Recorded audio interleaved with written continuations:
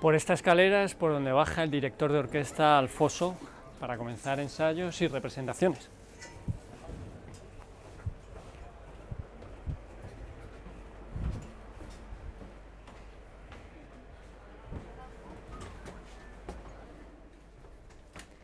Nos encontramos en el foso de la orquesta.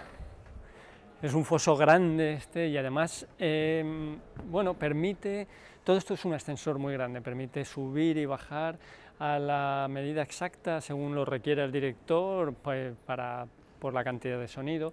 Aquí es donde dentro de un momento se van a colocar todos los profesores de la orquesta y este es el camino que hace el director de orquesta hasta que llega a su podio.